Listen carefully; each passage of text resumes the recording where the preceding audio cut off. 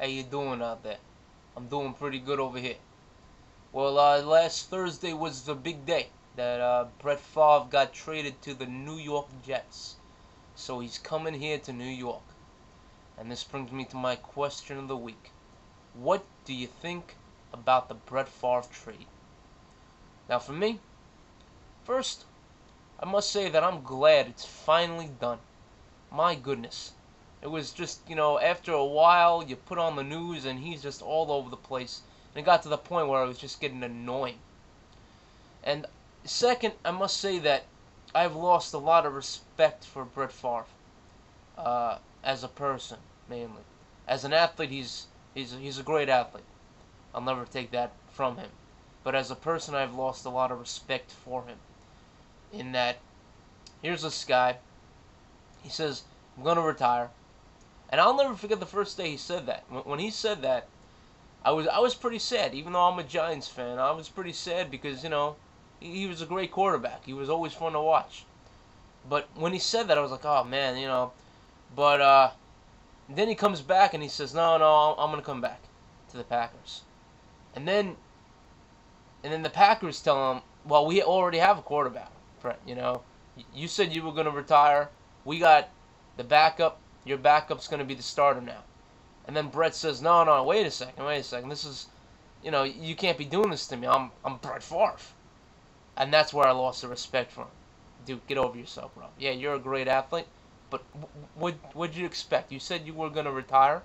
So, you know, they, they had to make a move. They had to put the backup in there now. So, you know, get real.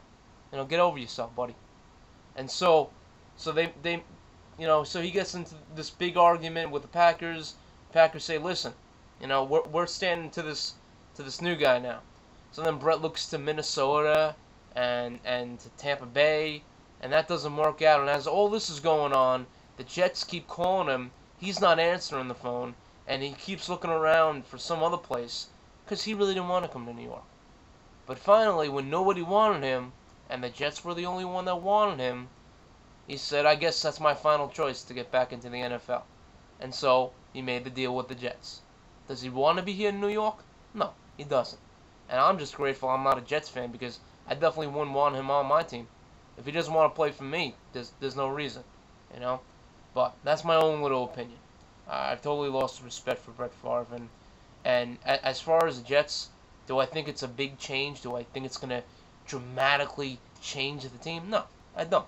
I'll be honest with you. I, I don't think it's going to be a, a dramatic change. Will there be improvements to the team? Yes. But will it be a dramatic change? No. Because, you know, one man can't do it. Look at the Jets receivers. Who do you got? Jet receivers don't have anybody. They, they can't catch. You know? It's the Jets. Let's get real here.